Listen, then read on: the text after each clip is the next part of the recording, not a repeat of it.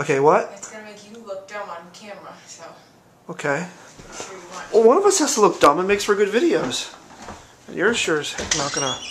Alright, this is gonna make me look dumb. Okay, the ceiling that you painted. The ceiling that I painted, yep.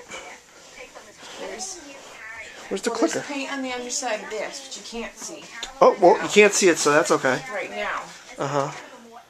Alright. There's paint, little splatter. Oh, oh yeah, I noticed that when I came back in here. here. That's, yeah, well, but the ceiling's done. Paint all over here. Yeah, but you can't really notice that. See, I you can. can't notice it. I can Scratch it it. right No, off. don't scratch it, Joel. But it comes right off. No, you can't scratch it. God. There's paint on these pillows. Mm-hmm. There's paint on the bird. No, I don't see any paint. You take it off. Yes, I saw that, and I scratched it off. There's paint everywhere. But only if you look at it close Yeah, well. to the naked Look at eye. the ceiling. Now the parts you hated are all white, and everything else looks crappy. Oh crap!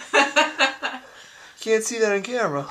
Well, I just did that yesterday, and the edges. You didn't do the edges. and I didn't do the edges because I knew I was gonna do the edges, but I did this on purpose. I did around here last night because I I missed a few spots, but but that was the re- main reason why I did the whole thing because I had paint and I painted around it and it looked.